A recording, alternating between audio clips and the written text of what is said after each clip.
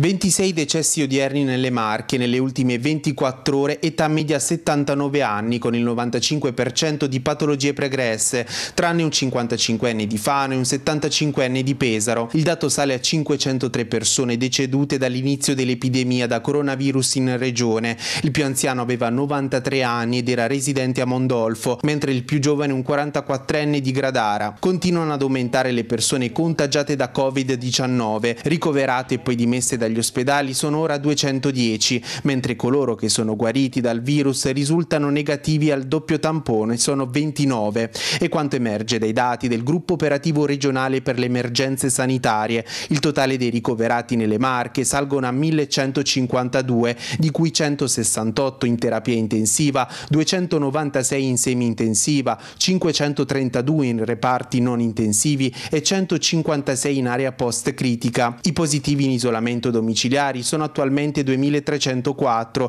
su 3.962 casi di contagio registrati, mentre coloro che sono in quarantena in casa dopo il contatto con persone positive vanno verso quota 7.000, 6.904 totali, di cui 2.060 sintomatici e 4.844 asintomatici, tra i quali 793 operatori sanitari. I casi di contagio nella provincia di Pesaro Urbino hanno raggiunto il numero di 1.700 122, 1174 sono registrati ad Ancona, 506 a Macerata, 263 a Fermo e 224 ad Ascoli Piceno, 73 invece extra regione.